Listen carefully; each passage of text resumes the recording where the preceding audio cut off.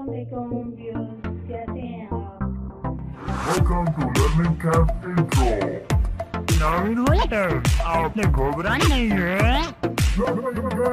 और यहाँ मिलेंगी उर्दू की क्लासें बिल्कुल free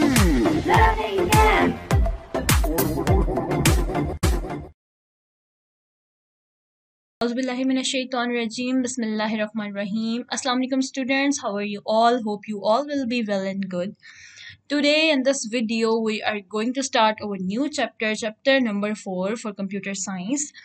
और इस चैप्टर का नाम क्या है? कंडीशनल कंट्रोल स्ट्रक्चर अब इस टॉपिक में जैसे कि आपको नाम से ही पता चल रहा है हम कंडीशंस के बारे में पढ़ने वाले हैं। यानी कितनी टाइप की कंडीशंस हम अपनी प्रोग्रामिंग लैंग्वेज इन सी ठीक है? सी प्रोग्रामिंग लैंग्वेज में हम यूज़ करते हैं different type of condition statements ठीक है? तो उनको किस तरह से यूज़ किया जाता है? तो वो हम इस चीज़ में डिस्कस करने जा रहे हैं इस टॉपिक में डिस्कस करने जा रहे हैं। ओके okay, तो इसमें जो हम पढ़ेंगे वो होगा हमारा if statement if else statement else if and switch statement ठीक है? ये हमारी जो फोर मेन जो हमारी कंडीशंस uh, हैं हमारी स्टेटमेंट्स हैं हम इनको डिस्कस करेंगे। ये आपकी हर प्रोग्राम में काम आने वाली है। मतलब जितने भी हम प्रोग्राम्स करेंगे सी लैंग्वेज के वो सारे जो हैं उनमें हम इनका यूज़ सीखेंगे। और इनका यूज़ बहुत ज़्यादा इम्पोर्टेंट है।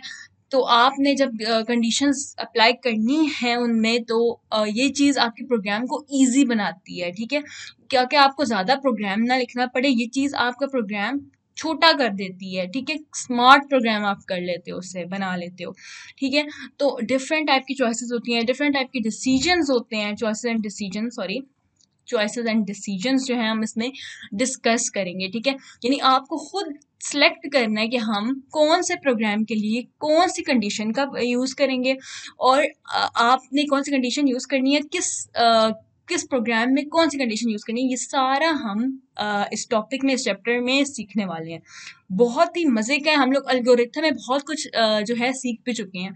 अब यहाँ पे जो है यहाँ पे क्योंकि हम लोग बेसिक प्रोग्रामिंग में जा रहे हैं अभी ठीक है जो हम आ, सारे बेसिक्स आ, हम लोग अभी सीख रहे हैं। आपको पता है चैप्टर टू में चैप्टर थ्री में हमने सारा बेसिक सीखा है। अभी भी जो आपका ये बेसिक ही है लेकिन ये मेन चीज़ें इंपॉर्टेंट चीज़ें हैं you have to know conditions हैं। कुछ कंडीशनल स्टेटमेंट है जो आपको पता ही होनी चाहिए, ठीक है? अगर आपको ये नहीं आती तो आपका सी लैंग्वेज का जो भी प्रोग्राम होगा, वो आपको बनाने में थोड़ी डिफ़िकल्टी हो सकती है। तो अगर आपने अपना प्रोग्राम अच्छा करना है इजी करना है इजी टू अंडरस्टैंड करना है कंडीशंस देनी है तो किस तरह से देनी है, कौन सी देनी है, ये सारा हम पढ़ेंगे इस यूनिट में। So let's start this unit number one हमारा जो टॉपिक है, वो है नंबर वन हमारा टॉपिक है कंट्रोल स्ट्रक्चर अब कंट्रोल स्ट्रक्चर क्या होता है, हम इसको जल्दी से पढ़ लेते हैं, ठीक है? Everybody makes different decision in the daily life ठीक है? मतलब कि लोग जो होते हैं डिफरेंट डिसीजंस लेते हैं अपनी लाइफ में. For example if my friend is at home अगर मेरा दोस्त जो है वो घर में है then I will visit him तो मैं उसको विज़िट करूँगी ठीक है? If the weather is good tomorrow अगर अब हमारी कंडीशन क्या है कि मैं अपने फ्रेंड को विज़िट करूँगा उसके घर में, लेकिन कंडीशन मैंने लगा दी कि अगर वेदर अच्छा हुआ तब, ठीक है? I will go for picnic अगर वेदर हुआ तब मैं क्या करूँगा? मैं पिकनिक पे जाऊँगा या जाऊँगी, ठीक है? तो इस चीज़ में अब आपको समझ आ रही है कंडीशन लगा दी है कि अगर वेदर अच्छा हुआ तो मैं पिकनिक पे जाऊँगी, अपने फ्रेंड के घर नहीं जाऊँगी। ठीक है? तो ये जो कंडीशन होते हैं, हम प्रोग्रामिंग में भी लगाते हैं, ठीक है? कि अगर ये हुआ तो मैं ये करूँगी, अगर ये ना हुआ तो मैं यूँ करूँगी। तो ये चीज़ें होती हैं कंडीशन यानी जहाँ पे इफ़ का यूज़ आ जाए इफ़ का मतलब भी आपको पता ना कंडीशन होती है, आप कंडीशन लगा रहे हो। आपने इवन इंग्लिश की ग्रामर में भी पढ़ी होगी, आपकी फोर कंडीशंस होती हैं, जो हम मेन पढ़ते हैं। होती और भी बहुत सारी हैं, लेकिन जो हम पढ़ते हैं ना मेन वो फोर होती हैं। ज़ीरो कंडीशन होती है वन कंडीशन वन होती है टू होती है थ्री होती है, ये फोर होती हैं। खैर ये इंग्लिश की बात आ जाती है। वैसे बता रही हूँ कि उसमें भी क्या होता है, हम इफ़ का यूज़ करते हैं। तो कहने का मतलब क्या है कि कंडीशन का मतलब ये होता है कि आप कंडीशन रख रहे हो। अगर तुमने, जैसे मैं बोलूँगी, अगर आप पढ़ोगे अच्छे मार्क्स अगर आप अच्छे से पढ़ोगे तो आपके अच्छे मार्क्स आएँगे। तो कंडीशन है कि अगर ऐसा हुआ तो तब आपके अच्छे मार्क्स आएँगे। अगर आपके मार्क्स अगर आप अच्छे से पढ़ोगे तब आपके अच्छे मार्क्स आएँगे। तो ये क्या कंडीशन है? कंडीशन अच्छा अच्छा पढ़ने की और अच्छे मार्क्स लेने की एक कंडीशन है। तो यही कंडीशन हम किस तरह से प्रोग्राम्स में अप्लाई करते हैं इनको हम समझ लेंगे। Computer programs also have to make decision and perform some operation depending on the user input to uh, the program. किस पे डिपेंड करता है? डिपेंड करता है on the user input to the program जो भी यूज़र इनपुट दे रहे हैं ना प्रोग्राम में उस पर डिपेंड करता है कि उसने डिसीज़न क्या लेना है वो हम पढ़ेंगे। Control structures are used in programs to implement decision control structures का हम यूज़ करते हैं प्रोग्राम में कोई भी डिसीज़न लेने के लिए। Okay okay. आगे आ जाते हैं। कंट्रोल स्टेटमेंट क्या होती है? A control statement is an instruction which determines the sequence of execution of other statement. यानी कंट्रोल स्टेटमेंट का काम क्या होता है? क्योंकि हर चीज़ को कंट्रोल करिए तो वो एक सीक्वेंस को चेक करती है। यानी एक सीक्वेंस में एग्जीक्यूट करती है अपने स्टेटमेंट्स को। यानी पहली जो भी स्टेटमेंट आएगी, पहले वो उसको देखेगा। लेट सपोज़ पहली कोई भी स्टेटमेंट है फ़र्स्ट ये स्टेटमेंट नंबर वन है। जिसमें हमने दे दिया प्रिंट कर दो। ओके अब मैंने अपनी फ़र्स्ट कंडीशन दे दी कि प्रिंट एफ़ आगे मैंने जो है ब्रैकेट लगा दी। मैंने इसके अंदर लिख दिया आई लव कंप्यूटर ठीक है, मैंने ये स्टेटमेंट फ़र्स्ट स्टेटमेंट मैंने ये दे दी। ठीक है? Let me close the bracket and then end पे semicolon then मैंने next अपनी statement दे दी, print f की एक और मैंने command दे दी और उसमें मैंने statement डाल दी। Uh, I am I am teaching C language. ठीक है? मैंने ये कमांड कोई भी मतलब दे दी ना रैंडम कमांड कुछ भी दे सकते हैं। अब मैंने क्या दिया? मैंने ये टू कमांड्स दे दिए हैं। ठीक है? ये टू कमांड्स मैंने दे दिए अब क्या है इसमें? मैं आपको बताती हूँ। ओके यस अब क्या है इसमें? यस अनकंट्रोल स्टेटमेंट का काम क्या होता है? वो सीक्वेंस देखता है एग्जीक्यूशन की। यानी वो सीक्वेंस वाइज जो है ना, चीज़ को लेके चलेगा। यानी फ़र्स्ट कमांड क्या है? हमारी प्रिंट है फ़ाइल ऑफ़ कंप्यूटर वो कंसोल पे पहले इस कमांड को चलाएगा, फिर सेकंड पे इस कमांड को चलाएगा। तो ये काम किसका होता है? ये कंट्रोल स्टेटमेंट का काम होता है। यानी कंट्रोल स्टेटमेंट जो हमारा होता है, वो प्रोग्राम की सीक्वेंस को देखता है और सीक्वेंसली वो हर चीज़ को एग्जीक्यूट करता है। यानी ऐसा नहीं होगा कि अब मैंने सेकेंड पे लिखा है I am teaching C language तो ये पहले प्रिंट होगा, बाद में आई लव कंप्यूटर होगा। नहीं, ऐसा क्यों नहीं होगा? बिकॉज़ ऑफ़ कंट्रोल स्टेटमेंट यानी हमारा कंट्रोल स्टेटमेंट पीछे लगा होता है बैकग्राउंड में चल रहा होता है, हर प्रोग्राम में जैसे सी लैंग्वेज है तो सी लैंग्वेज में पीछे इन्होंने एक कंट्रोल स्टेटमेंट बना दिया है। अब उस कंट्रोल स्टेटमेंट का काम क्या है कि वो सीक्वेंस वाइज जो आपका प्रोग्राम है एग्जीक्यूट करेगा। यानी जो पहली कमांड है, उसको एग्जीक्यूट करेगा। फिर जो सेकेंड पे है, बाद में उसको करेगा। तो इस सीक्वेंस को देखने का काम होता है कंट्रोल स्टेटमेंट का। ओके आई होप ये आपको क्लियर हो गया होगा। आगे चलते हैं।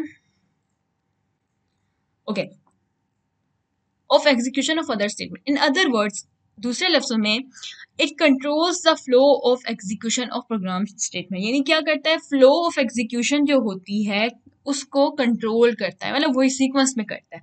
कंट्रोल कैसे करता है? सीक्वेंस में करता है। या तो आप इसको याद कर लो, या तो आप इसको याद कर लो। वैसे रट्टे नहीं मारने, आपने अपनी वर्डिंग में लिखना है। जो भी आपको समझ आती है, आप अपनी वर्डिंग में करो। डजेंट मैटर ठीक है? आगे चलते हैं कंडीशनल स्टेटमेंट अब मेन मर्ज़ी जाती है। कंडीशनल स्टेटमेंट अब कंडीशनल स्टेटमेंट क्या होती है? A conditional statement is an instruction in a programming language that contains a condition. अब एक जो conditional statement होती है वो instruction होती है जो हम देते हैं अपनी programming language को जैसे कि C है तो C language को हम कुछ instructions देते हैं coding के through जिसमें कंडीशंस होती हैं when a conditional statement is executed जब भी कोई भी कंडीशनल है ठीक है कंडीशनल स्टेटमेंट कौन कौन सी है मैंने आपको बताया था कि हम कौन कौन सी पढ़ेंगे इफ़ है इफ़ एल्स है एल्स इफ़ है एंड स्विच है, ठीक है? तो ये सारी हमारी जो है ये वो हैं कंडीशनल स्टेटमेंट्स हैं। तो अब वो कहता है, जब ये कंडीशनल स्टेटमेंट एग्जीक्यूट होते हैं, यानी रन होती हैं first the condition is evaluated and then based on the result true और फॉल्स अ पर्टिकुलर स्टेटमेंट और a set of statement is executed क्या मतलब है इसका? वो कहता है कि अगर आपने कंडीशनल स्टेटमेंट को एग्जीक्यूट किया है ना रन किया है ना तो क्या होगा कि जो भी आपने कंडीशन पहले दी हुई होगी ना, सबसे पहले वो इवेलुएट होगी, यानी सबसे पहले वो उसको चेक करेगा, उसकी चेकिंग पहले होगी। And then based on the result फिर जो भी रिज़ल्ट होगा, अगर वो कंडीशन ट्रू हुई, अगर वो फॉल्स हुई तो मतलब उस चीज़ पर डिपेंड करेगा। यानी अगर ट्रू हुई तो पार्टिकुलर स्टेटमेंट या फिर सेट ऑफ़ स्टेटमेंट जो भी आपने आगे डाली हुई होंगी, वो एग्जीक्यूट हो जाएँगी। और अगर फॉल्स पे आपने जो भी दिया हुआ कि अगर फॉल्स होगी तो वो या तो रन नहीं होगी, यानी इफ़ में क्या होता है? इफ़ में होता है रन नहीं होती। फॉल्स होगी तो रन नहीं होगी। ट्रू होगी तभी रन होगी। तो ये चीज़ें होती हैं। ठीक है? तो अगर फॉल्स है तो दूसरी स्टेटमेंट चल जाए। अगर ट्रू है तो फ़र्स्ट वाली जो स्टेटमेंट है वो चल जाए। तो इस तरह से हम कंडीशंस देते होते हैं इसमें। तो यही बोल रहा है। ठीक है? यानी कंडीशन स्टेटमेंट का क्या काम होता है? वो हम क्या कर रहे होते हैं? बेसिकली उसमें इंस्ट्रक्शंस दे रहे होते हैं अपनी प्रोग्रामिंग लैंग्वेज को। ठीक है, जिसमें कंडीशन होती हैं। अब क्या होता है कंडीशन स्टेटमेंट को जब एग्जीक्यूट किया जाता है तो पहले कंडीशन जो होती है इवेलुएट होती है and then based on the result यानी जो भी रिज़ल्ट होगा आइदर ट्रू आइदर फॉल्स कोई भी रिज़ल्ट आएगा, उसके अकॉर्डिंगली एक पार्टिकुलर स्टेटमेंट यानी कोई भी जो स्टेटमेंट आप आगे दोगे, जैसे मैंने दिया आई लव कंप्यूटर तो वो एग्जीक्यूट हो जाएगी। जैसे मैंने दिया, अगर स्टेटमेंट ट्रू है तो आई लव कंप्यूटर प्रिंट हो जाए। अगर स्टेटमेंट फॉल्स है तो क्या हो? I am teaching C language ये प्रिंट हो जाए। इस तरह भी हम दे सकते हैं। किस तरह देते हैं वो हम आगे पढ़ेंगे। तो इस तरह जो है हम कंडीशंस को uh, जो है एग्जीक्यूट करते हैं। Conditional statements of C language are if if else else if and switch statement वही जो मैंने आपको बताया कि कंडीशनल स्टेटमेंट्स कौन कौन सी हैं हमारे पास? इफ़ है इफ़ एल्स है एल्स इफ़ है एंड स्विच स्टेटमेंट है। नंबर फ़र्स्ट जो हम पढ़ने जा रहे हैं स्टेटमेंट वो कौन सी है? स्ट्रक्चर ऑफ़ इफ़ स्टेटमेंट अब आपने गौर से सुनना है। अब मेन चीज़ हमारी यहाँ से स्टार्ट हो गई है। ठीक है? Okay the if statement has the following general form general form आपने अच्छे से याद कर लेंगे रट्टा नहीं मारना इसको समझना है। जब आप इस चीज़ को समझेंगे ना, आप जनरल फॉर्म खुद से बना लेंगे। यानी अगर आपको याद ना भी रहे ना, जब आपको समझ आ जाएगी तो आप इसी चीज़ को आप अपने प्रोग्राम के थ्रू खुद से बना सकते हो। किस तरह हम देखते हैं? सबसे पहले हम देखते हैं कि यहाँ पे इसने क्या बोला हुआ है। तो the if statement has the following general form इसकी ये जनरल फॉर्म होती है क्या?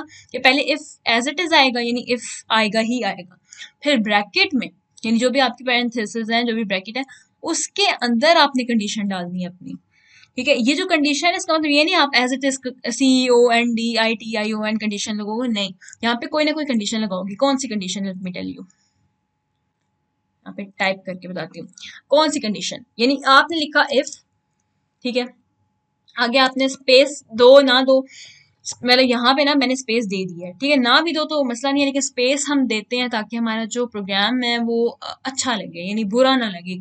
गंद ना डला हुआ हो ठीक है? अब मैंने कंडीशन देनी है, मैंने condition the A is less than two यानी जो भी ए की वैल्यू है, वो लेस देन टू वो ग्रेटर देन टू है, यानी ए ग्रेटर देन टू है, तब क्या हो ब्लॉक ऑफ़ स्टेटमेंट जो भी है, वो एग्जीक्यूट हो जाए।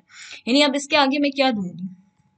मैं करूँगी एंटर मैंने लगाई अपने लैपटॉप से flower bracket and then enter किया और यहाँ पे मैं लिखूँगी कोई भी स्टेटमेंट जैसे मैंने दे दिया print F block of statement का भी मतलब हरगिज ये नहीं है कि आपने as it is block of statement उठा के लिख देना ये तो एग्जीक्यूट नहीं होती है। हमेशा कंसोल पेज पे वही चीज़ एग्जीक्यूट होती है, वही रिटर्न फॉर्म में आती है जो आपने प्रिंट एफ़ कमांड में दी होगी। याद रखनी है इस चीज़ को। मैं वही दे देती हूँ आई लव कंप्यूटर ठीक हो गया? और मैंने सेमी कॉलन आपको पता है, देना ही देना होता है। और मैंने इंटर कर दिया ताकि जो फ्लावर ब्रैकेट है ना वेट मैं आपको शो करती हूँ। यहाँ पे ठीक है? ये देखें कलर हम रेड कर लेते हैं। ओके ये देखें अब मैंने फ्लावर बैकेट नीचे क्यों की है? ताकि मेरा जो आ, ये प्रॉपर मेरा जो मैंने स्टेटमेंट दी है ना ये क्लियर लगे नीट एंड क्लीन लगे। इसलिए मैंने क्या किया एक फ्लावर ब्रैकेट ऊपर लगा दिया एक नीचे लगा दिया एंड सेंटर में मैंने अपनी ब्लॉक ऑफ़ स्टेटमेंट दी है। ब्लॉक ऑफ़ स्टेटमेंट का मतलब क्या है कि आपने प्रिंट एफ़ कमांड दी या आपने कोई भी यहाँ पे फॉर्मूला दे दिया। आप कोई भी चीज़ यहाँ पे दे सकते हो। ठीक है? यहाँ पे आप यूज़र को बोल सकते हो इंटर इंटर टू नंबर्स कुछ भी मतलब प्रिंट एफ़ कमांड भी दे सकते हो स्कैन एफ़ भी दे सकते हो और क्या कहते हैं उसको फॉर्मूला फॉर्मूला भी दे सकते हो।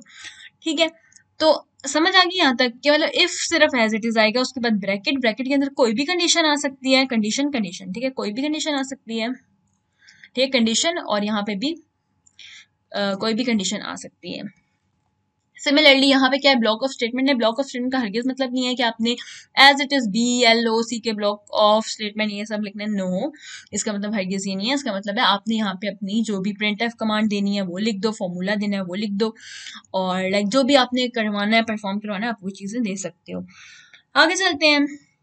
When the statement is executed, अब क्या होगा? जब ये execute होगी, the condition is evaluated evaluate का मतलब क्या होता है? Evaluate का मतलब होता है check क्या मतलब होता है? चेक यानी कंडीशन को चेक किया जाता है. चेक ठीक है? कंडीशन को चेक किया जाता है.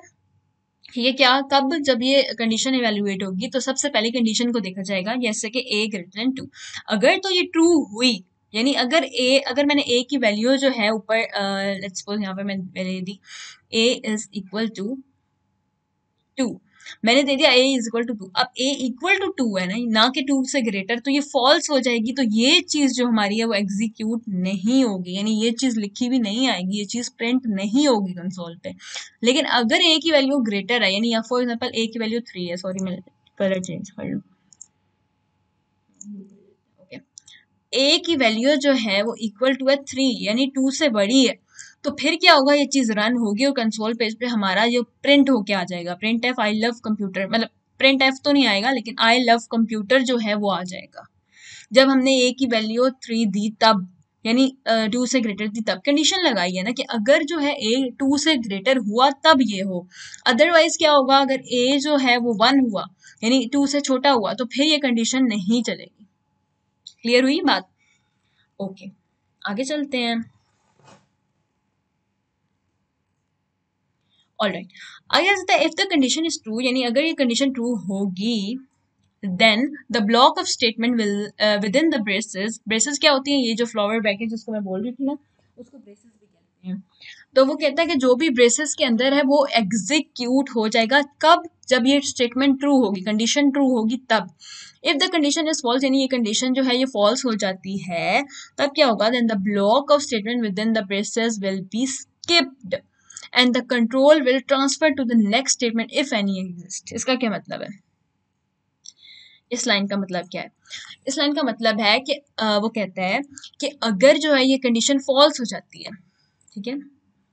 अगर ये कंडीशन फॉल्स हो जाती है तो सिंपली क्या होगा? Okay okay. अगर ये कंडीशन जो है फॉल्स हो जाती है तो फिर क्या होगा? कहता है कि ये पूरा जो ब्लॉक ऑफ़ स्टेटमेंट है ना ये वाली ये छूट जाएगी, यानी इसको छोड़ के बाकी आगे अगर कोई प्रोग्रामिंग का पार्ट दिया हुआ है तो वो उस पर चला जाएगा, यानी उसको स्किप करके आगे ट्रांसफ़र हो जाएगा। ठीक है? The control will be transfer to the next statement if any exist कोई भी स्टेटमेंट है अगर तो उसके ऊपर जो है हमारा कंट्रोल uh, चला जाएगा। If there is only one statement to be executed if the condition is true then braces are not required कहता है कि अगर एक कंडीशन आपने डली है जैसे यहाँ पे हमने एक कंडीशन ली है सिर्फ़ मतलब एक कंडीशन uh, तो एक है लेकिन मतलब जो ब्रेसेस में हमने एक ही जो है कमांड देनी है कि स्टेटमेंट देनी है इफ़ ओनली वन स्टेटमेंट अगर एक ही स्टेटमेंट को एग्जीक्यूट करवाना है तो ब्रेसेस ना दो। यानी ये जो ब्रेसेस हमने दिए ना, ये ना दो। डायरेक्ट लिख दो। यानी इफ़ इफ़ हमने कंडीशन दी और प्रिंट एफ़ दिस ठीक लेकिन अगर एक से ज़्यादा, यानी प्रिंट एफ़ ऊपर भी दिया प्रिंट एफ़ हमें जो है फॉर एग्ज़ाम्पल लेट सपोज़ हमने प्रिंट एफ़ यहाँ पे भी देना है। प्रिंट एफ़ हमने फॉर एग्ज़ाम्पल न्यू लाइन पे दे दिया। न्यू लाइन पे हमने दे दिया। इंटर टू नंबर्स ठीक है, मैंने इस तरह से कमांड दे दी और आगे मैंने सेमी कॉर्नर ला दिया। तब मैं ब्रेसेस दूँगी। ठीक है, तब मैं ब्रेसेस का यूज़ करूँगी। यानी एक से ज़्यादा हो गई है ना टू स्टेटमेंट एक ऊपर है और एक नीचे है। टू स्टेटमेंट्स हैं, इसीलिए हम ब्रेसेस देंगे। लेकिन अगर एक ही है ना, जैसे पहले एक थी तो फिर हम ब्रेसेस नहीं देंगे। यहाँ तक क्लियर हुआ? आई होप सो क्लियर हो गया होगा। आगे आ जाता है। अब यहाँ से समझें। अब यहाँ पे उसने एक प्रोग्राम दे दिया ताकि हम इजीली इस चीज़ को समझ सकें कि इफ़ कैसे यूज़ होता है। Use of if statement program number one demonstrates the use of if ये इफ़ का यूज़ बता रहा है। सबसे पहले अगेन वही जो है, आपका जगह hash tag include S T D I O dot H hash tag include conio dot H मतलब वही चीज़ें जो हम लिखते आ रहे हैं void main and then void अब ब्रेसेस स्टार्ट हुई और यहाँ पे हमने इफ़ का यूज़ करना है। सबसे पहले उसने क्या लिया?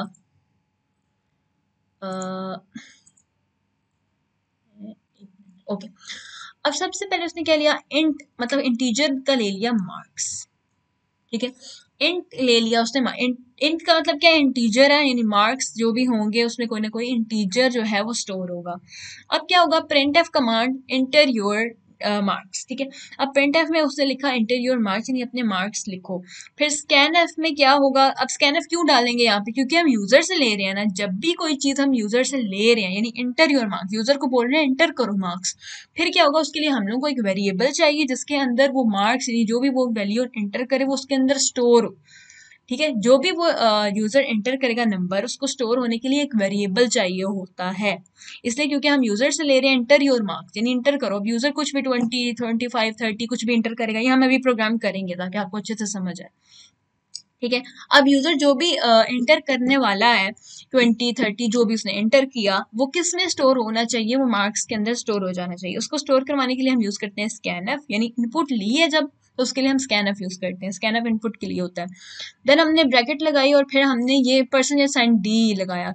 किस लिए यूज़ होता है percentage sign D percentage sign D को हम यूज़ करते हैं हमेशा इंटीजर के लिए, क्योंकि हमने यहाँ पे मार्क्स को इंटीजर लिया है ना। यानी वो कोई ना कोई इंटीजर है फ्लोट नहीं है। फ्लोट कौन सा होता है? डेसिमल वाला। मतलब कि टू पॉइंट फोर पॉइंट वाले जो होते हैं, उनको हम फ्लोट कहते हैं। और इंटीजर होते हैं पॉइंट के बगैर वाले। अब वो कहते हैं मार्क्स जो है उसके पॉइंट के बगैर है, यानी थर्टी टू फोर्टी टू इस तरह। फोर्टी टू पॉइंट फाइव इस तरह के नंबर नहीं लेने, ठीक है? इंटीजर है। उसके लिए हमने पर्सन साइन डी यूज़ किया और आगे हमने कोमा लगा के एम एम्पर्सन साइन ये एंड का जो साइन होता है एम एम्पर्सन साइन लगा के आगे हमने मार्क्स लिखा। यानी मार्क्स की जो भी वैल्यू है वो ऐड हो जाए इंटीजर बन के स्टोर हो जाए मार्क्स के अंदर। मार्क्स के अंदर स्टोर हो जाए जो भी यूज़र एंटर करे वैल्यू को। अब आगे उसने लगा दिया इफ़ स्टेटमेंट अब देखें। अब इफ़ स्टेटमेंट का यहाँ पे काम क्या है वो देखें। समझें इस चीज़ को okay if statement marks marks मतलब एज इट इज़ वही वेरिएबल याद रखें, जो ऊपर वेरिएबल लेना है, वो यहाँ पे भी लेना है। यानी ऐसे नहीं हो सकता कि यहाँ पे एम आप कैपिटल ले लें, आगे के लेटर आपने छोटे ले लिए M A R K S marks तो ये चीज़ एग्जीक्यूट नहीं होगी, वो एरर दे देगा। ठीक है? तो इस चीज़ का आपने खास ख्याल रखना है कि जो ऊपर आपने लिया है, वैसे का वैसा आपने नीचे लेना है। अब वो कहते हैं मार्क्स अगर ग्रेटर देन थर्टी टू है, यानी थर्टी टू से मार्क्स जो है, वो ग्रेटर हैं, तब क्या हो? अगर ये स्टेटमेंट ट्रू है, यानी यूज़र ने जो इंटर किया वो थर्टी टू से अबव मार्क्स हैं तो फिर क्या हो? प्रिंट एफ़ कॉन्ग्रेचुलेशन आ जाए। कॉन्ग्रेचुलेशन लिखा आ जाए यू हैव पास लिखा क्या आएगा? कॉन्ग्रेचुलेशन यू हैव पास ये लिखा आ जाए। उसके लिए उसने प्रिंट एफ़ कमांड एक कॉन्ग्रेचुलेशन की यूज़ कर ली। Printf command you you have pass use कर लिया। आगे gate C H and then program close अब ये रन कैसे होगा? ये इस तरह से रन होगा। Enter your marks as it is printf command थी ना? इंटर योर मार्क्स ये लिखा आ जाएगा और यूज़र कोई भी मार्क्स एंटर कर दे। जैसे उसने 54 ले लिया, ठीक है? अब 54 क्योंकि 32 से ग्रेटर है तो क्या ये प्रिंट होगा? यस ये होगा प्रिंट तो अब देखें congratulation you have pass print हो गया अब हम इसको परफॉर्म करते हैं। ओके okay, तो मेरे पास ये स्क्रीन आ गई है और ये मैंने ऑनलाइन यूज़ कर रही हूँ। आप भी ऑनलाइन कर सकते हैं। अगर आपको डाउनलोड नहीं करना स्पेस नहीं भरनी अपने लैपटॉप या पीसी में तो आप सिंपली क्या करें ऑनलाइन जीडीबी पे जाएँ ठीक है? ऑनलाइन जीडीपी गूगल पे लिखे और आपके पास ये आ जाएगा। इसमें कंफ्यूज नहीं होना जो ऊपर है ये सारी कमेंट्स है। हमने पढ़ा था ना कमेंट्स कमेंट्स कैसे देते हैं? एक हमने यूज़ जो है अपनी स्लैश फॉरवर्ड लगाई, उसके बाद हम स्टार देते हैं। उसने ज़्यादा सारे स्टार दे दिए, आप इसमें कंफ्यूज नहीं होना। आपने सिंगल स्टार ही देना है और फिर एंड भी ऐसे ही करना है। तो ये सारा कमेंट है, इसको हम हटा भी सकते हैं तो मैं हटा देती हूँ, ताकि आप कंफ्यूज ना हो। कमेंट्स क्या होते हैं, वो जो होता है ना, आपके प्रोग्राम का पार्ट नहीं होते कमेंट्स तो इसलिए होता है।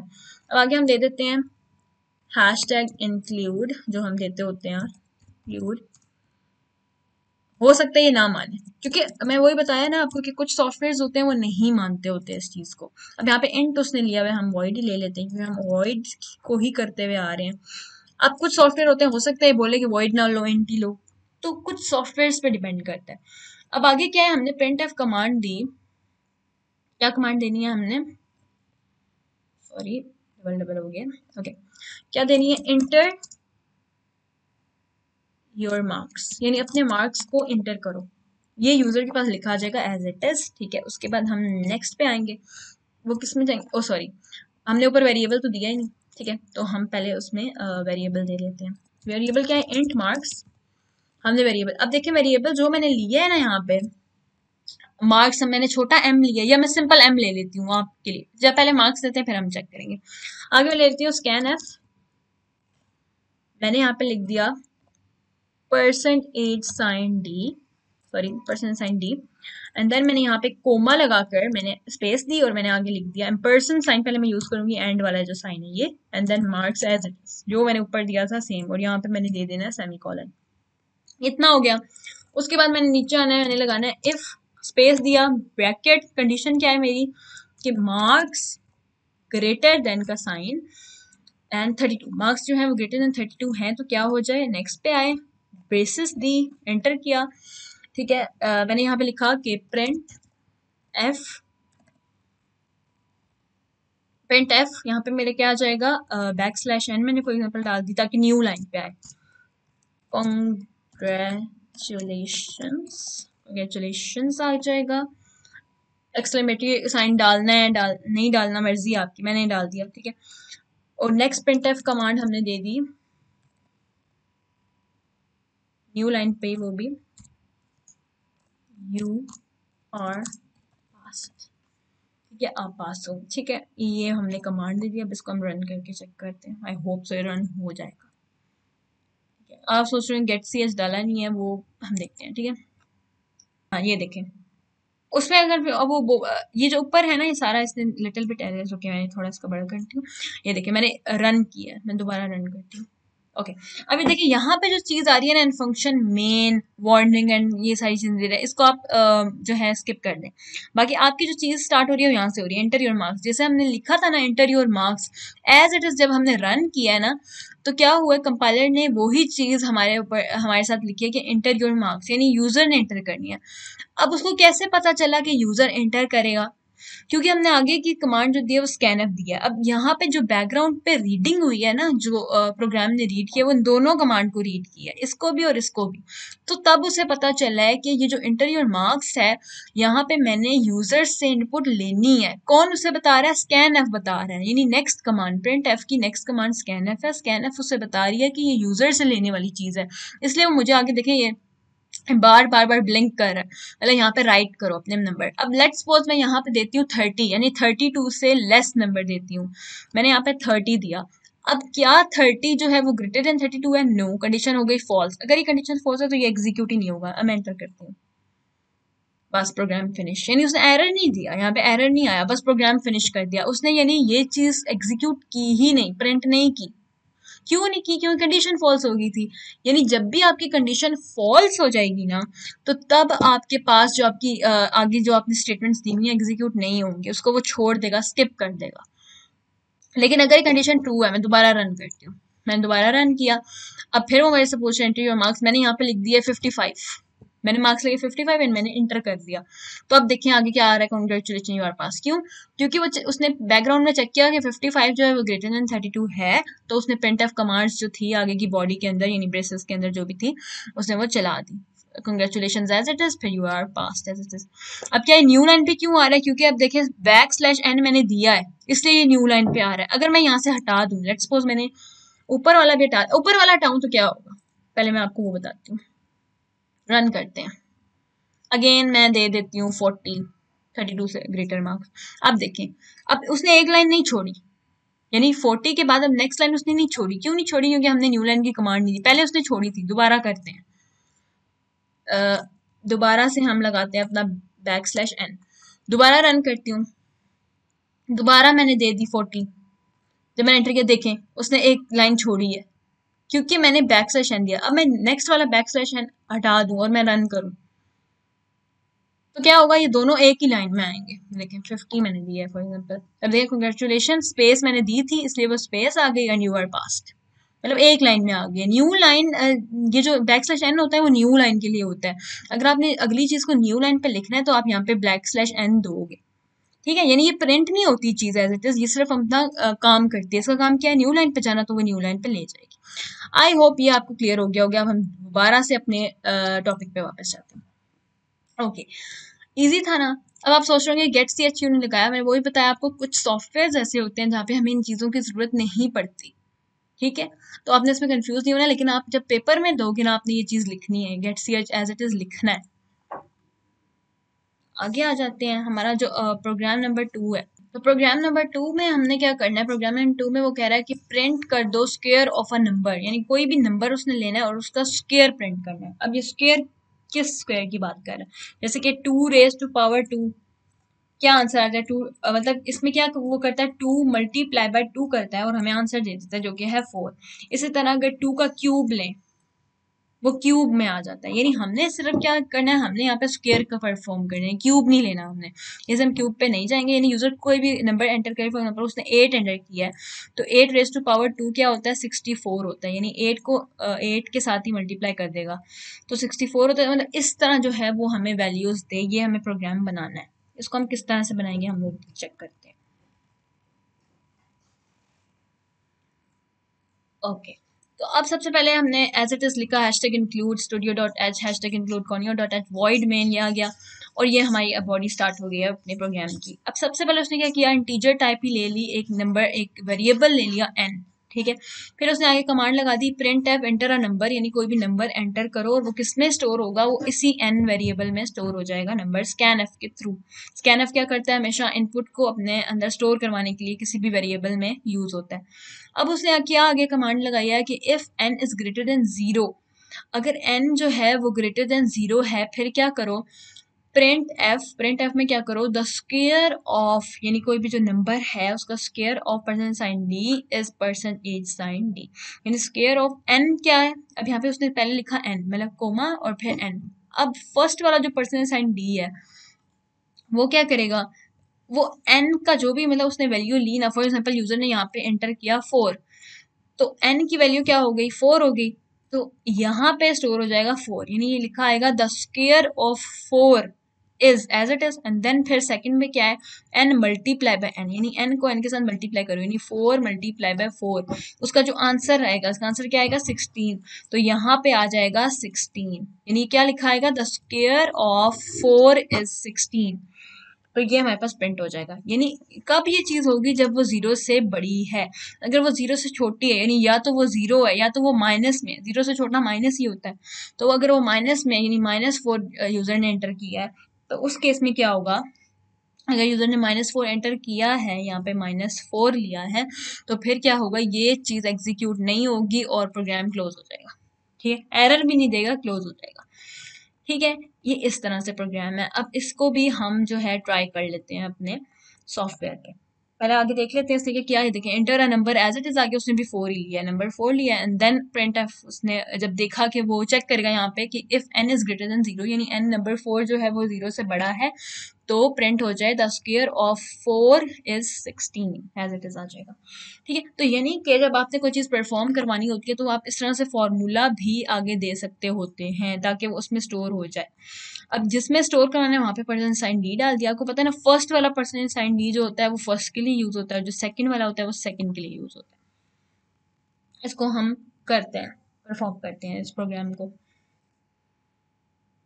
छोटा कर लेते हैं और इसको भी छोटा कर लेते हैं।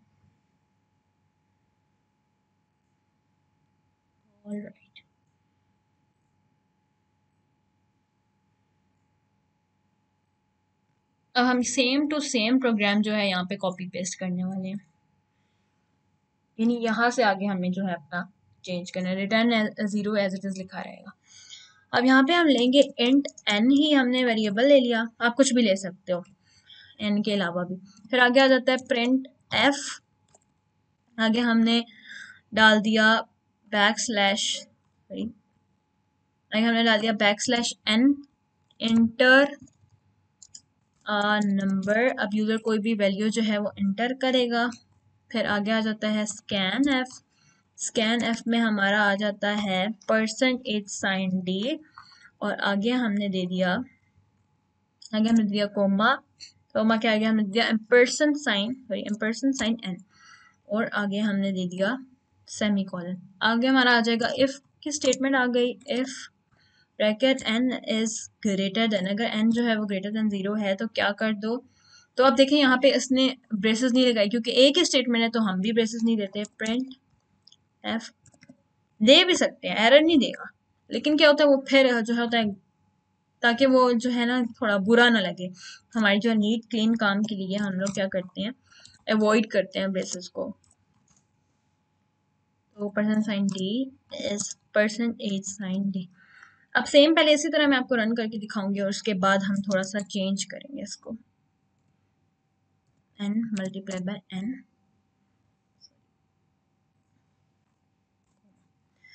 okay और यहाँ पे हमने अपने सेमी कॉलन लगा दिया और अब हमने इसको रन कर दिया। स्क्रीन को बड़ा कर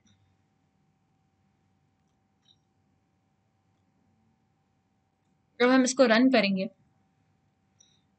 देखिए सेम एज इट इज़ वही पूछ रहा है एंटर अ नंबर मैंने कुछ भी नंबर एंटर किया फॉर एग्ज़ाम्पल मैंने फाइव एंटर किया, मैंने एंटर किया तो उसने देखें the square of five is twenty five उसने करके दिखा दिया। यानी कैसे उसने किया? पहले मैंने नंबर फाइव लिया, ठीक है?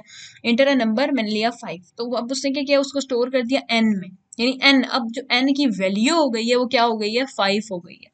अब वो चेक करेगा इनकी जो वैल्यू है, यानी five five is greater than zero yes it is true वो ग्रेटर देन ज़ीरो है। तो क्या होगा? प्रिंट एफ़ कमांड क्या है? The square of percent sign D is percentage sign D यानी जो परसेंट साइन डी फ़र्स्ट है, वो फ़र्स्ट है एन के लिए, यानी कोमा से पहले पहले की चीज़ के लिए। है और जो सेकंड परसेंट साइन डी है, वो कोमा के बाद वाली चीज़ के लिए। अब इसी चीज़ को हम उल्टा भी करते हैं। एक और चीज़ मैं आपको बता दूँ कि अगर मैं रन करूँ और मैं इसको माइनस में लूँ, यानी ज़ीरो या ज़ीरो से लेस लूँ पहले हम ज़ीरो लेते हैं. लेट्स सपोज़ मैंने ज़ीरो लिया और मैंने एंटर किया. देखें वो प्रोग्राम एंड हो गया. प्रोग्राम एंड हो गया. क्यों एंड हो गया? क्योंकि ये कंडीशन जो है, ये फॉल्स हो गई. यानी एन ग्रेटर देन ज़ीरो नहीं है. वो तो ज़ीरो है. ठीक है? इक्वल है. उसके ग्रेटर तो नहीं है ना. तो इसलिए ये कमांड नहीं चली और उसने प्रोग्राम को एंड कर दिया. अब सिमिलरली मैं माइनस में लूँ तो भी वो यही काम करेगा. रन किया मैंने अगेन मैंने ले लिया माइनस फोर एंटर किया. तो अगेन प्रोग्राम एंड हो गया. ठीक है? तो ये तरीका होता है कि नहीं कंडीशन ट्रू होगी, तभी स्टेटमेंट चलेगी। अगर फॉल्स है तो नहीं चलेगी। दूसरी चीज़ मैं आपको बताने वाली थी वो ये थी कि लेट सपोज़ इस चीज़ को जो है मैं कंट्रोल एक्स कट करके यहाँ पे कंट्रोल वी करती हूँ और यहाँ पे मैं लिखती हूँ एन अब इसका क्या मतलब है कि एन को पहले मल्टीप्लाई करो यानी अब क्या होगा? अब जो पहला परसेंटेज साइन डी है ना, उसमें क्या वैल्यू आ जाएगी? एन को मल्टीप्लाई करेगा, वो एन के साथ और जो भी वैल्यू आएगी वो इधर आएगी।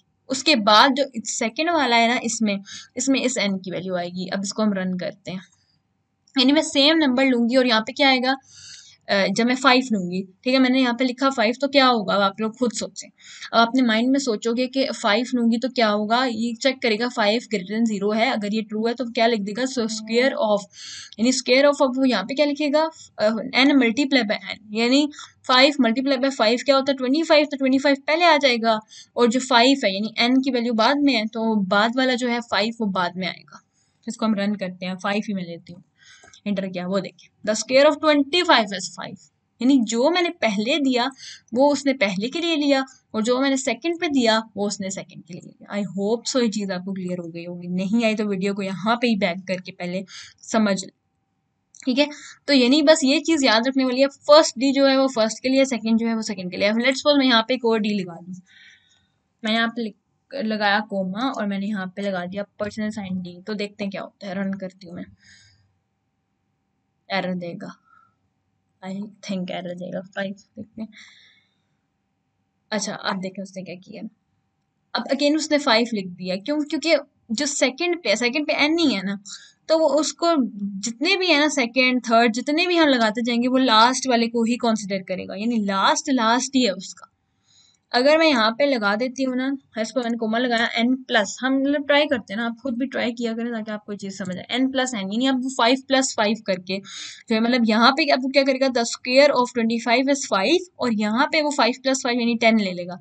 The square of twenty five is five और यहाँ पे आ जाएगा टेन ठीक है? रन करते हैं। अगेन मैं फाइव लूँगी। एंटर क्या ये देखें। The square of twenty five is five and ten क्यों आया ये चीज़? मैं आपको अगेन समझा दूँ कि फ़र्स्ट वाला जो है, वो फ़र्स्ट के लिए, फिर कोमा के बाद वाला जो है, वो सेकंड वाले पर्सन साइन डी के लिए, फिर जो कोमा के बाद वाली स्टेटमेंट है, वो थर्ड वाले पर्सन साइन डी के लिए। आई होप सो ये चीज़ आपको क्लियर हो गई होगी। अगर कोई चीज़ यहाँ पे समझ नहीं आती तो आप ज़रूर कमेंट सेक्शन में पूछें। अगेन आप टॉपिक पे वापस जाते हैं। ठीक है, ये प्रोग्राम आपको क्लियर हो गया होगा। फिर इसमें उसने यही चीज़ जो है एक्सप्लेन की हुई है, मैं ज़्यादा नहीं जा रही, आप इसको रीड कर लेना। आगे आ जाता है structure of if else statement अब इफ़ एल्स आ जाती है। बहुत ही मज़े की है ये। पहले हमने इफ़ स्टेटमेंट पढ़ी जिसमें एल्स नहीं था, सिर्फ़ इफ़ पार्ट था। अब जो है हमारे पास एल्स पार्ट भी आ गया है। यानी the if else statement is use in situation where some code is to be executed if the condition is true and some other code is to be executed if the condition is false क्या मतलब है इसका? कहते हैं if else statement को हम हमेशा तब यूज़ करते हैं जब हमारे पास टू कंडीशन होती है कि अगर वो कंडीशन ट्रू होगी तो कुछ कोड जो है वो एग्जीक्यूट हो जाएगा। ठीक है? कुछ कोड जो है वो एग्जीक्यूट होगा। Some code is executed if the condition is true अगर कंडीशन ट्रू है तो कुछ कोड जो एग्जीक्यूट हो जाएगा और some other code is executed और कुछ और कोड तब एग्जीक्यूट होगा जब कंडीशन फॉल्स होगी। यानी इसमें ये होता है। लेकिन इसमें क्या होता है इसमें जब ट्रू होगी तभी ये एग्जीक्यूट होगा अदरवाइज़ कुछ भी नहीं देगा वो। लेकिन इसमें क्या है? इसमें दोनों में चलेगा। अगर फॉल्स होगी तब भी चलेगा। इसमें अगर फॉल्स थी तो नहीं चलता था ना, कुछ भी नहीं होता था। सिर्फ़ ट्रू पे ही वो चलता था। इसमें क्या है? इसमें ट्रू पे भी कुछ ना कुछ एग्जीक्यूट होगा। उसमें फॉल्स पे भी कुछ ना कुछ एग्जीक्यूट होगा। इसकी क्या स्टेटमेंट है? uh, वो क्या है? जनरल फॉर्म क्या है? The if else statement has the following general form यानी if condition as it is block of statement वही। यहाँ से यहाँ तक सॉरी यहाँ से यहाँ तक का जो पार्ट है वही है इफ़ कंडीशन उसके बाद एल्स का पार्ट यहाँ से स्टार्ट होता है सेम वही है। अब याद रखने वाली क्या चीज़ है कि एल्स के आगे कंडीशन नहीं आती। एल्स के आगे कंडीशन नहीं आती, ये चीज़ आपने याद रखनी, क्यों नहीं आती? अब लेट सपोज़ मैं अगेन वही एग्जांपल देती हूँ जो हमने एल्गोरिथम के टॉपिक में ली थी। वो एग्जांपल क्या थी? किसी को याद है? मैं आपको बता दूँ। वो एग्जांपल ये थी कि अगर हम बोल रहे हैं इफ़ कंडीशन लगा रहे हैं हम, अगर जो है, अगर हमने कंडीशन दे दी कि पक, एक मिनट मैं टाइप करके बताती हूँ। यहाँ पे। ठीक है? इफ़ मैंने कंडीशन आगे दे दी पाकिस्तान वन ठीक है, अगर पाकिस्तान जीता the match if the Pakistan और इंडिया का मैच है, ठीक है, Pakistan won the match with बस इतना ही लिखते हैं, ठीक है won the match Pakistan won करेगा मैच तो क्या हो जाए, क्या स्टेटमेंट चले? प्रिंट एफ़ प्रिंट एफ़ कर दो, ठीक है प्रिंट एफ़ कर दो, यानी पाकिस्तान जीता तो प्रिंट एफ़ यानी लिखा आ जाए यानी if Pakistan won the match तो लिखा जाए Pakistan won the Pakistan won लिखा आ जाए, या यही करते हैं, ठीक है? अगर पाकिस्तान वन द मैच यानी अगर पाकिस्तान मैच जीते तो लिखा आ जाए पाकिस्तान वन ठीक है? और एल्स अब एल्स में हम क्या देंगे? एल्स में भी हम अगेन अब मैंने यहाँ पे ब्रेसेस क्यों नहीं लगाई? क्योंकि एक ही कंडीशन थी, ठीक है? लेकिन मैं क्या दूँगी यहाँ पे एंटर एंटर करके थोड़ा सा इसको जो है ना नीट और क्लीन कर देंगे। ठीक है, यहाँ पे करते हैं और फिर एल्स एल्स अब एल्स में कंडीशन देने की ज़रूरत नहीं है जब मुझे पता है पाकिस्तान और इंडिया का मैच है, ठीक है? पाकिस्तान और इंडिया का मैच है तो मुझे क्या ज़रूरत है एल्स में देने की कि एल्स इंडिया जीता?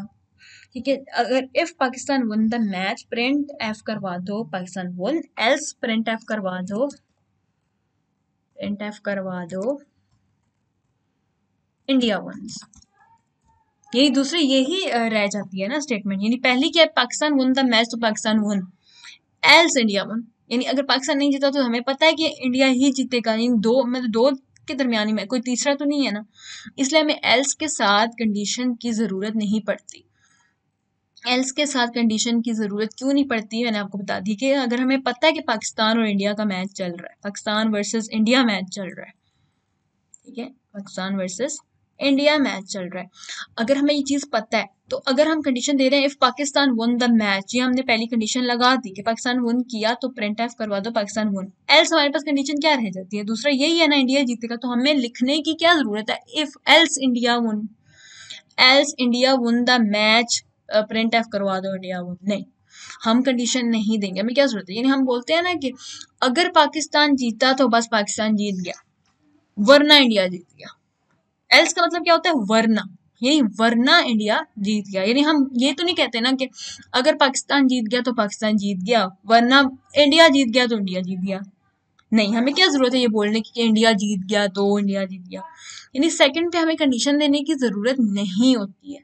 तो एल्स के साथ कंडीशन नहीं आती, याद रखनी है चीज़ आपने। एल्स के साथ कंडीशन नहीं आती। आगे चलते हैं। ओके आगे चलते हैं। ठीक है?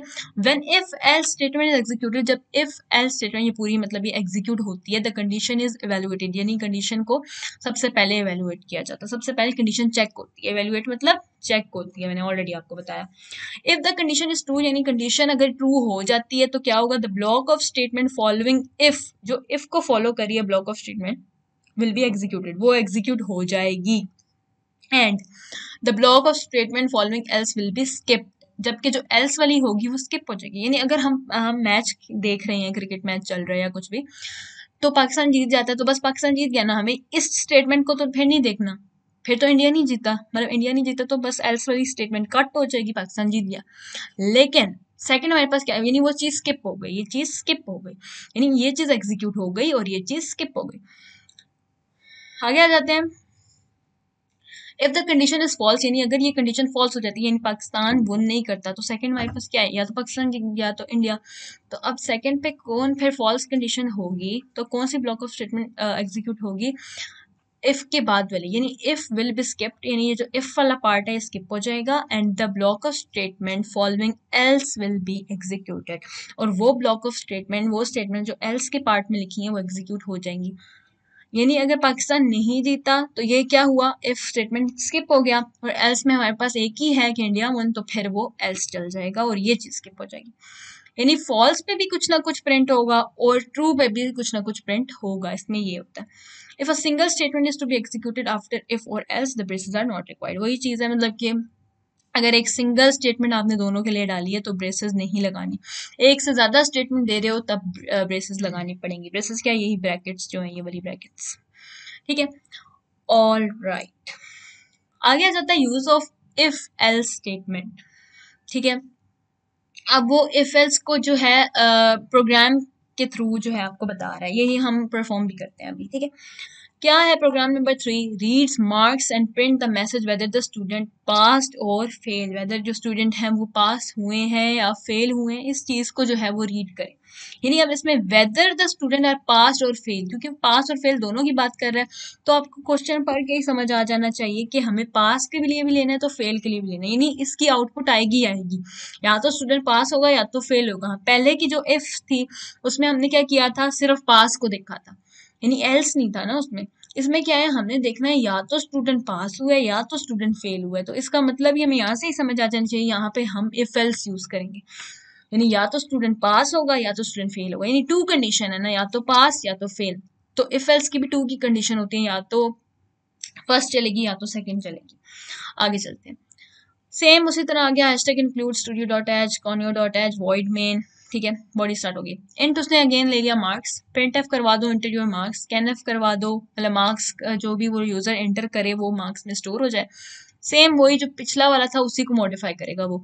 यानी मार्क्स अगर ग्रेटर देन थर्टी टू है तो क्या कर दो कॉन्ग्रेचुलेशन यू हैव पास ये प्रिंट हो जाए। एल्स अगर ऐसा नहीं है फॉल्स है तो क्या हो जाए यू हैव फेल यानी आप फेल हो। अगर ऐसा नहीं है ना, अगर थर्टी टू से ग्रेटर नहीं है तो फिर आप फेल ये चीज़ प्रिंट हो जाए। तो सेम यहाँ पे भी अगर आप देखें तो ये वही चीज़ चल रही है इंटर योर मार्क्स उसने जब 52 इंटर किए कॉन्ग्रेचुलेशन यू हैव पास आ गया। जब उसने 23 यानी 32 से लेस मार्क्स जो है प्रिंट किए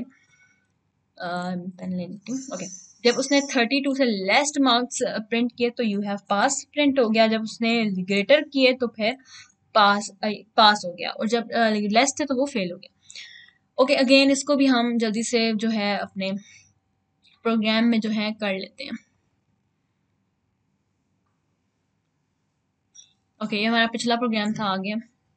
अंडू अंडू करके लेके हूँ। ओके आगे हमारे पास यहाँ पे क्या था कि प्रिंट एफ़ टाइम वेस्ट ना हो, इसलिए मैंने पहले से ही उस चीज़ के अंदर ही जो है मॉडिफिकेशन फर्दर मैं कर रही हूँ। ताकि टाइम वेस्ट ना हो। यू आर पास्ट ये लिखा आ जाए। ठीक है? अब दूसरी भी स्टेटमेंट आ गई यानी पहले हमने इंटर किए मार्क्स यूज़र ने इंटर कर लिया मार्क्स और मार्क्स के अंदर स्टोर हो जाएँगे। स्टोर करवाने के लिए हम पर्सन साइन और हमें पर्सन साइन डी यूज़ करना ही करना याद रखें। अगर ये यूज़ नहीं करेंगे पर्सन साइन नहीं यूज़ करेंगे, तब भी एरर आएगा, याद रखें। आगे आ जाते हैं marks are greater than thirty two तो ये आ जाए एल सब आगे देते हैं हम। आगे हमारा क्या रह गया इसको थोड़ा नीचे कर लूँ। यहाँ पे हम देंगे एल्स एल्स के साथ कंडीशन नहीं आती, मैंने ऑलरेडी आपको बताया। तो थोड़ी सी स्पेस देगी यहाँ पे हम हम टैब दे लेते हैं और यहाँ हम लिखेंगे print f you are fail you are fail और यहाँ आगे अगेन यहाँ पे मैंने क्लोज नहीं किया देगा और सेमीकोलन आता ही आता है। यहाँ पे मैं इसको रन करती हूँ यानी अगर अगर जो मार्क्स हैं वो मैंने थर्टी टू से ग्रेटर दिए, तब वो ये प्रिंट करेगा। अगर मैंने थर्टी टू से लेस या फिर थर्टी टू दिए तो वो फेल आएगा। रन करते हैं। Okay enter your marks marks enter करो. अब मैंने लेट्स सपोज़ थर्टी टू पहले इंटर करके देखते हैं. Thirty two you are fail क्यों आया? क्योंकि वो उसने पहले चेक किया, उसने चेक किया कि इंटर योर मार्क्स मार्क्स में स्टोर हो गया। अब वो चेक करेंगे marks is greater thirty two नहीं मार्क्स ग्रेटर तो नहीं है इक्वल है उसके थर्टी टू के इक्वल है। तो इसलिए क्या हुआ इफ़ वाली स्टेटमेंट को उसने किया स्किप और एल्स पे गया और प्रिंट यू आर फेल्ड उसने जो है वो एग्जीक्यूट कर दिया। ठीक है, ये हो गया। और दूसरा क्या है कि हम दोबारा रन करते हैं और अब हम ग्रेटर देते हैं थर्टी टू से ग्रेटर मार्क्स देते हैं। लेट सपोज़ मैं यहाँ पे दे देती हूँ थर्टी थ्री मैंने एंटर किया।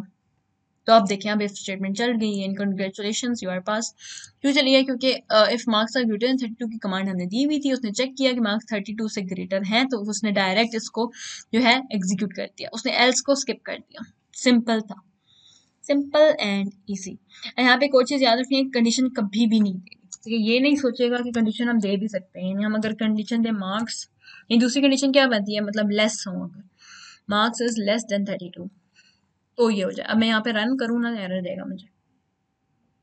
ये देखिए एरर एक्सपेक्टेड एरर दिया उसने मुझे इस पर कि ये क्यों क्यों? क्योंकि एल्स के साथ कंडीशन कभी भी नहीं आती। वो इसी चीज़ का एरर दे रहा है।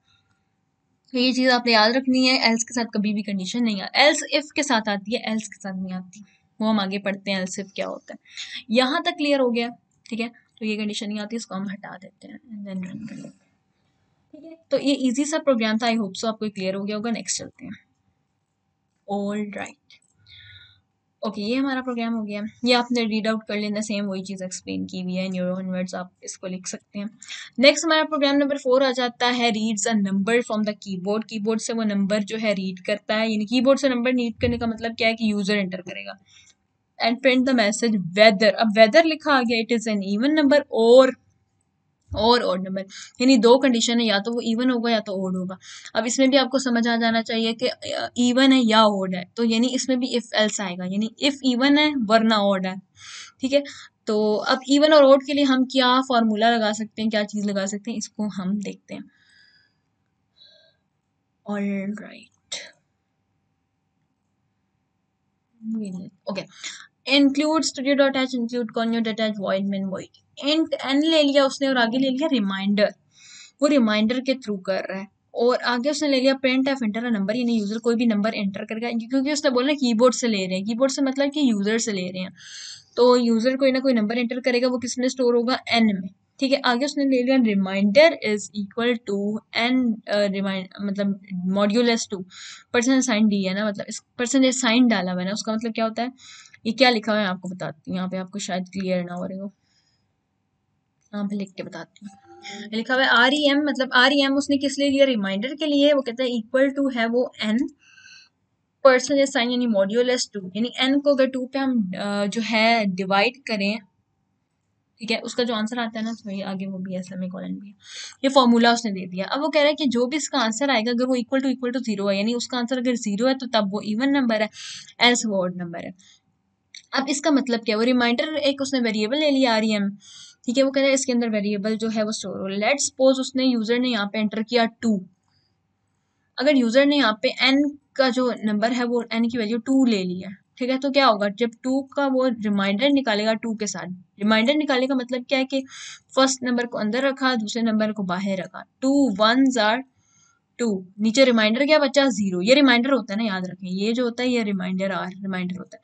रिमाइंडर ज़ीरो आ गया तो R E M is equal to equal to zero इसलिए क्या हुआ? You enter a even number इसलिए जो आपका नंबर है, वो इवन है। अदरवाइज़ एल्स क्या है कि अगर आपका ये नहीं आता ज़ीरो नहीं आता लेट्स सपोज़ यहाँ पे हम ले लेते हैं थ्री यूज़र को हमने नंबर दे दिया थ्री अब थ्री को जब वो मॉड्यूलस निकालेगा टू के साथ यानी यहाँ पे हम करते हैं। थ्री को अंदर रखा टू को बाहर रखा। टू वन जार टू नीचे आ गया वन रिमाइंडर वन बच गया है ना तो R E M is equal to equal to zero no ये कंडीशन फॉल्स हो गई कंडीशन स्किप हुई और एल्स पे हो चला जाएगा। एल्स क्या? You have enter the odd number तो आपका जो नंबर है वो ऑड है। ठीक है? क्लियर हो गया? इजी था। ठीक है तो उसमें कंफ्यूज नहीं होना, इस तरह से आप रिमाइंडर के थ्रू जो है अपना ये क्वेश्चन सॉल्व कर सकते हैं। यानी आपने सिंपल रिमाइंडर रिमाइंडर के लिए आपने आर एम ले लिया, पूरा रिमाइंडर ले लो, या सिंपल सिर्फ़ आर वेरिएबल ले लो तो भी ये जो है ये आपका एग्जीक्यूट हो जाएगा। तो आई होप्स आपको ये भी क्लियर हो गया होगा इस तरह से होता है। यानी आपको जब इवन और ओड के लिए देखना है तो आपको रिमाइंडर देखना है। यानी आपने नंबर लिया, उसका जब आप मॉड्यूलस निकालोगे टू के साथ, यानी रिमाइंडर ये रिमाइंडर का होता है ना, हमने पहले भी पढ़ा था। मॉड्यूलस जो है पर्सन साइन हम किस लिए यूज़ करते हैं? रिमाइंडर के लिए। जब इसका रिमाइंडर निकालो और वो इक्वल टू ज़ीरो आ जाए रिमाइंडर इसका ज़ीरो आ गया तो मतलब वो ईवन है, वरना वो ऑड है। ठीक है? तो यही चीज़ आगे उसने एक्सप्लेन कर दिया और ये उसका आगे सॉल्व हो गया। ठीक है? तो क्या किया उसने? इंटर अ नंबर उसने 14 इंटर किया तो क्या हुआ? You have you have written even number जब उसने 25 लिखा तो you have enter the odd number यानी जब इवन था तो वो फ़र्स्ट वाला एग्जीक्यूट इवन होगा. इवन का मतलब क्या होता है कि वो डिवाइड बाई टू है ना? यानी वो टू पे डिवाइड होता है. इवन का मतलब यही होता है ना कि वो टू पे डिवाइड होता है. वरना क्या होगा? वो ओड नंबर होगा. अब फोर्टीन टू के टेबल में आता है. अब अगर ना बड़े नंबर लो ट्वेंटी टू ट्वेंटी टू पे इवन नंबर है, लेकिन आप कहोगे टू के टेबल पे नहीं आता. क्यों नहीं आता? टू के टेबल पे आता है नहीं। आप सिर्फ़ टू का टेबल टेन तक तो नहीं है ना? टेन से अबव भी है। टू टेन है टू इलेवन है। तो टू इलेवन जैसे होता है ट्वेंटी टू होता है। तो मतलब कहने का मतलब क्या टू के टेबल पे आता है। यानी इवन नंबर आपको पता है ना क्या होते हैं? इवन नंबर बेसिक अगर मैं बताऊँ तो वो होते हैं। जिनका जो लास्ट नंबर जैसे नंबर बड़ा लूँ वन फोर एट अब आपको पता ही नहीं है वन फोर एट आता है कि नहीं आता। तो आपने लास्ट नंबर देखना होता है। इन लास्ट नंबर क्या है? एट है। एट क्या इवन नंबर है ना? टू के टेबल में आता है। तो इसका मतलब है ये पूरा नंबर इवन है। तो इस तरह से देखते होते हैं ठीक है? तो इस तरह से जो इवन नंबर के लिए हम क्या करते हैं? अगर हम रिमाइंडर एक आर फॉर एग्ज़ाम्पल हम कोई वेरिएबल लेते हैं तो जब उसका रिमाइंडर निकालें, अगर वो ज़ीरो के इक्वल आ जाए तो you have enter the even number else वो वॉट नंबर होगा। सो करने की ज़रूरत नहीं आई होप्स आपको क्लियर हो गया। तो आई होप्स आपको ये आज का जो लेक्चर है, वो क्लियर हो गया होगा। कोई भी क्वेश्चन आप कमेंट सेक्शन में पूछ सकते हैं, ठीक है? आप अपना फीडबैक ज़रूर दें, आपको समझ आया, नहीं आया, कहाँ से को समझ नहीं आया तो आप मुझसे पूछ सकते हैं कमेंट सेक्शन में, ठीक है? तो do subscribe to our channel ठीक है फॉर मोर अपडेट्स तो हमारी वीडियोस जो है, इंशाल्लाह टाइम टू टाइम आती रहेंगी साथ साथ और आपको बहुत कुछ जो है सीखने को मिलेगा, ठीक है? दुआ में याद रखिएगा ओके अल्लाह हाफिज़।